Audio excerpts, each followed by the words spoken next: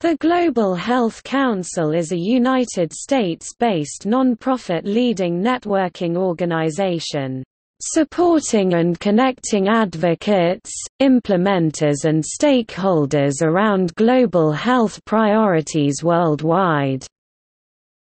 The Council is the world's largest membership alliance dedicated to advancing policies and programs that improve health around the world.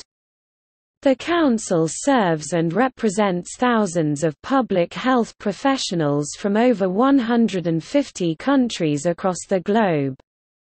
They work to improve health globally through increased investment, robust policies and the power of the collective voice." According to their website the Council convenes stakeholders around key global health priorities and actively engages key decision makers to influence health policy. After shutting its doors in 2012, GHC reopened with a newly elected board of directors on January 1, 2013. In their new model, the Global Health Council works in three main areas, policy and advocacy, member engagement, and connections and coordination. Reflecting this focus, GHC offers an online platform that includes guest blogs, member spotlights, policy briefs, advocacy updates, and global health job postings. Additionally, the GHC has since participated in significant global health events at the national and international level including the World Health Assembly, Global Health Week on the Hill, and the Consortium of Universities for Global Health Consortium. The Council coordinates and participates in a number of working groups, coalitions, and roundtables in the global health advocacy community, including the GHC Budget Roundtable and Global Health Security Roundtable. The Council maintains a global health advocacy hub and coordinates the biennial publication of the Global Health Briefing Book. The most recent publication, titled Global Health Works, Maximizing U.S. Investments for Healthier and Stronger Communities, was released in 2017 for the 115th U.S. Congress.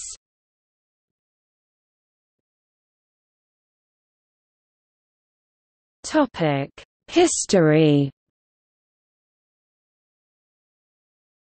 Through almost five decades of work, the Global Health Council has continuously served as the leading membership organization focused on global health advocacy. In 1972, the National Council for International Health was first established. In 1998, the organization became the Global Health Council to better represent its work in the 21st century. As the Council evolved, its name had to evolve to correctly reflect the scope of the Council's work. The inclusion of global in its name reflected the Council's goal to include more international organizations and individuals in its membership and become the preeminent non-governmental source of information, practical experience, analysis and public advocacy for the most pressing global health issues. In 1998, the Council began organizing the Global Health Action Network in pursuit of its advocacy building goals. The network was designed to establish groups of motivated citizens across the U.S. to educate local communities and their elected officials about the need for a more proactive approach to global health. With this network in place, the Council was able to implement nationwide advocacy campaigns dealing with vital global health issues. The Council continued to grow as the voice for global health by using its annual conference, its website to promote advocacy, education and information sharing, its media outreach through a diverse field of multidisciplinary specialists, and its publications, including the Global Health magazine, as part of the Council's work in advocacy and developing awareness of the AIDS crisis. The 17 15-year-old International AIDS Candlelight Memorial event came under their stewardship in 1999. The International AIDS Candlelight Memorial grew to include 1,500 communities in more than 100 countries. It is the world's largest and oldest grassroots HIV AIDS event. In April 2012, the Global Health Council announced it would be closing its doors for the upcoming months. The Board of Directors released the announcement acknowledging that, although the Global Health Council will no longer play the same role, we will continue to fight for the goals that first inspired us to action. With no unified voice for global health in the advocacy sphere, 40 international organizations came together at the end of 2012 to pledge almost $300,000 over three years to establish a new Global Health Council. The new council included a newly elected board of directors and leaner business model. In January 2013, the Global Health Council reopened its doors to continue their mission bringing global health concerns to the forefront of policy work.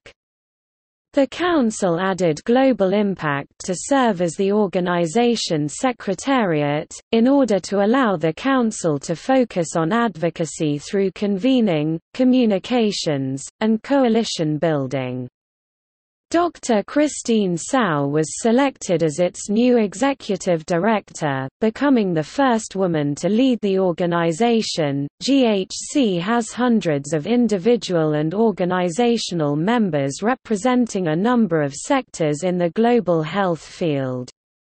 In 2014, GHC member organizations operated in more than 150 countries worldwide and had a combined annual revenue of over $40 billion. The board of directors is led by Dr. Jonathan Quick of Management Sciences for Health MSH. Loyce Pace became president and executive director of the organization in December 2016.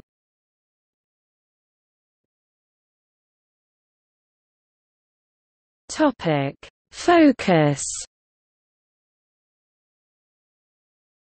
Women's health Child health HIV, AIDS Infectious diseases Emerging health threats Topic: Awards. The Council has administered a number of prominent awards. Some of the recipients have been barred from traveling to receive them which has brought attention to their work. In addition to the following honorific awards the organization has also conferred the Best Practices in Global Health Award and the Excellence in Media Award for Global Health.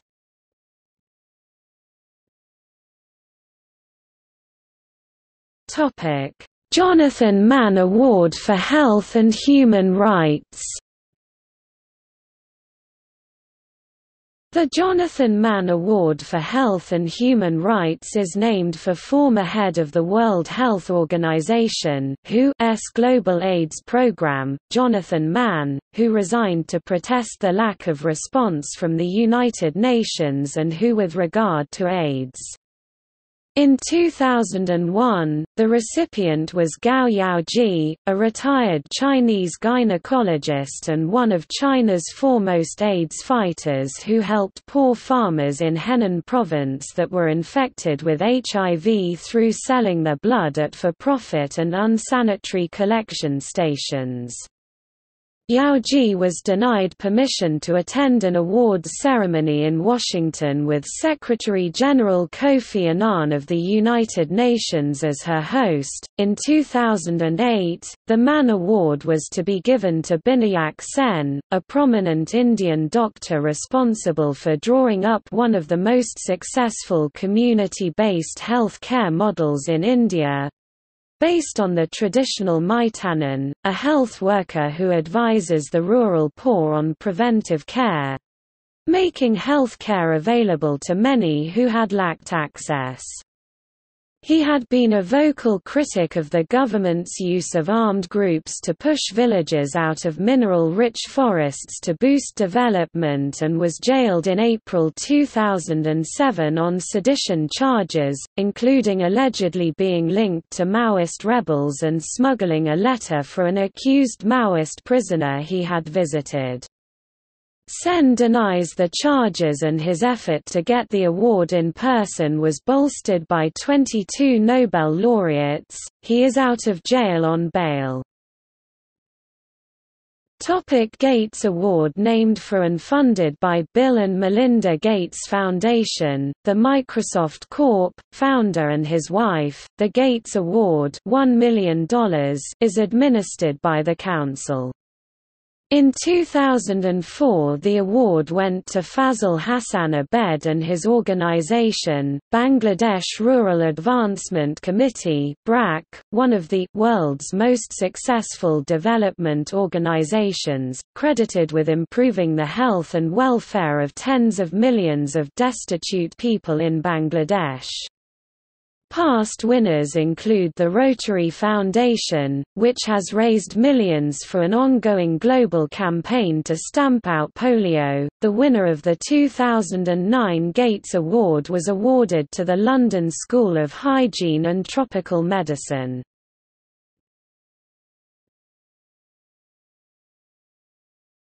Topic: Funding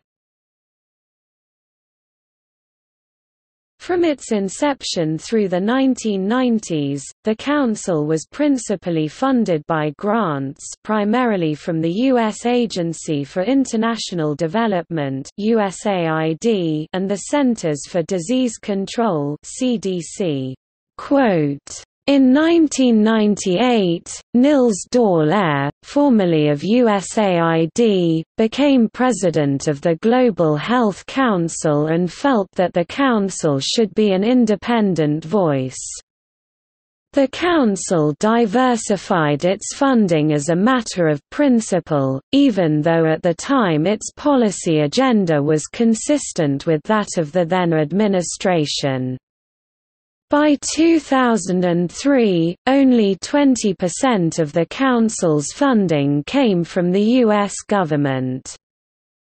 The Council has received grants of varying sizes from a variety of foundations, including the Gates, Packard, Hewlett-MacArthur, and Rockefeller. As part of the President's Emergency Plan for AIDS Relief, U.S. government support for AIDS prevention was contingent on opposing prostitution starting in 2003.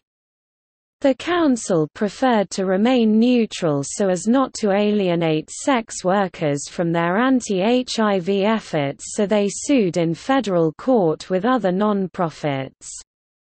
In 2013, the U.S. Supreme Court found that the requirement violated the First Amendment's prohibition against compelled speech in Agency for International Development v.